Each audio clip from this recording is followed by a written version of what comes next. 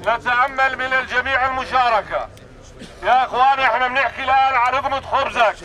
بنحكي عن مستقبل أولادك.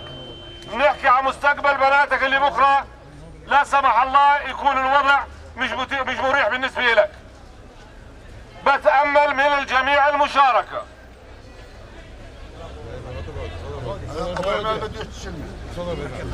بسم الله الرحمن الرحيم.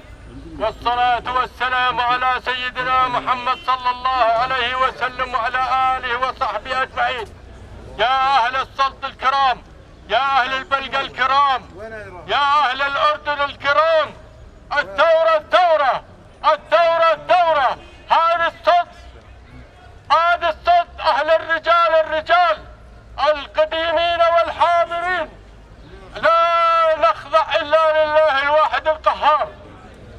طالبت علينا جميع الحكومات والنواب والأعيان والشخصيات الكبار أكلوا ثروات البلد ونهبوها وسكروا فيها وفسقوا بها وعاثوا بالأرض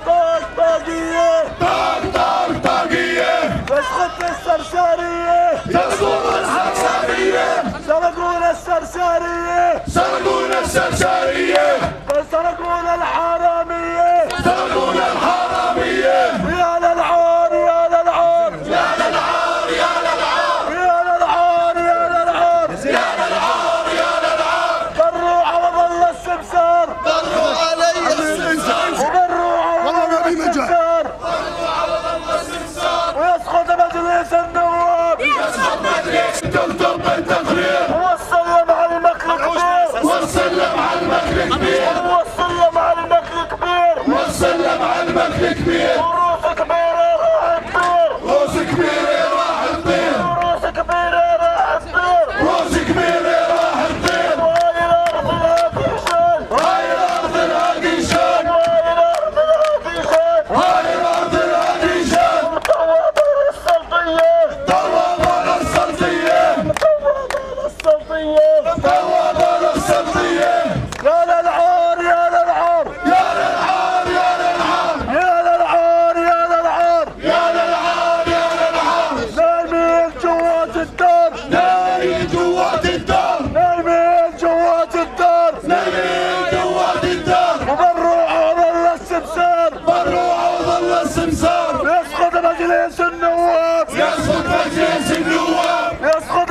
مجلس النواب. يسقط مجلس النواب. يسقط يسقط هذا المركب يسقط يسقط هذا المركب ويسقط يسقط هذا المركب يسقط يسقط هذا المركب لا فساد ولا تخريب ركز لي على يا أيوة. اسمع. اسمع ويا اسمع اسمع.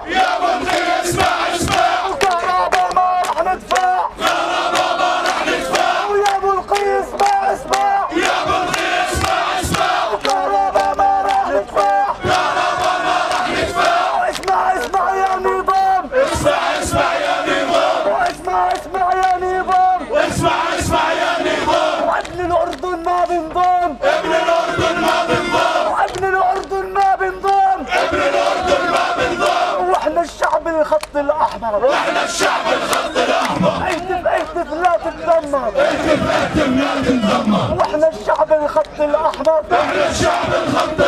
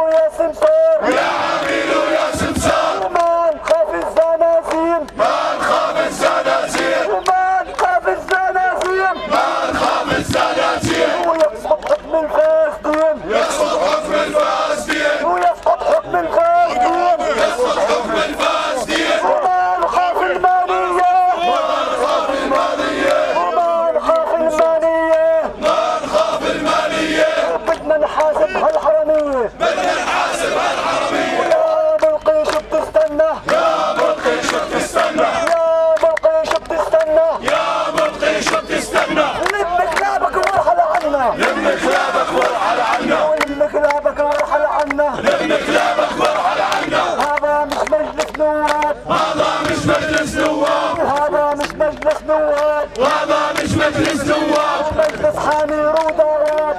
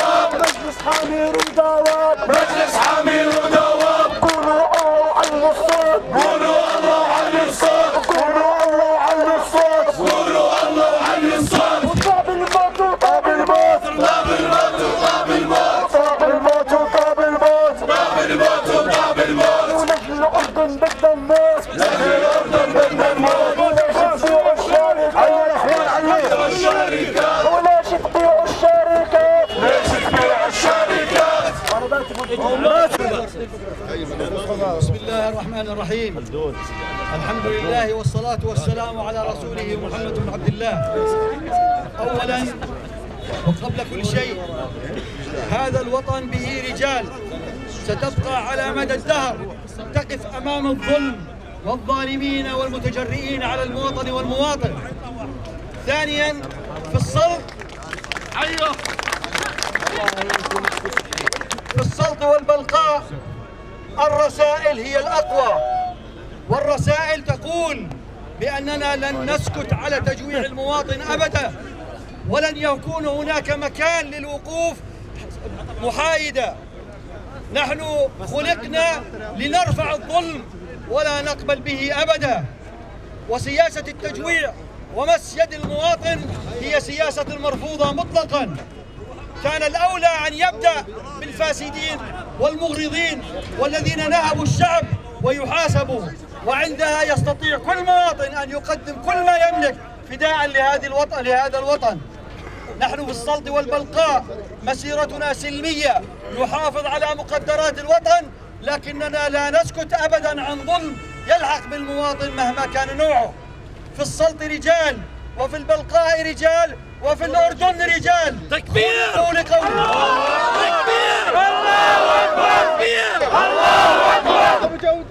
خلقوا لقول الحق والصدق. لا نقبل أن نهادن بحق المواطن ولا نقبل أن نكون إمعة خلف أحد. نحن من صنعنا التاريخ في هذا الوطن وسنصنعه مرة أخرى إذا بقينا صفا واحدا.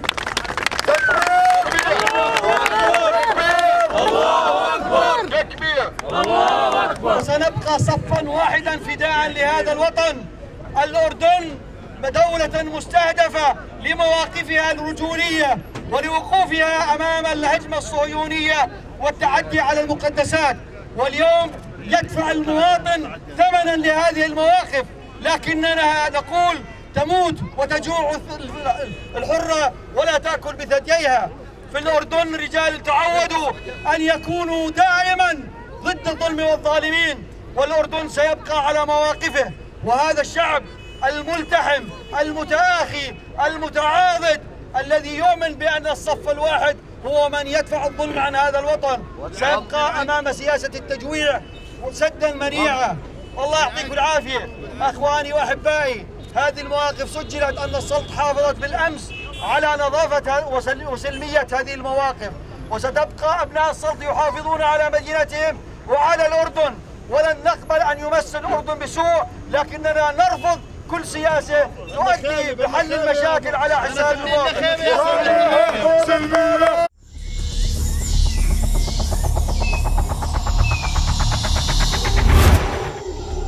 رمل الأنباء قمر الحقيقة.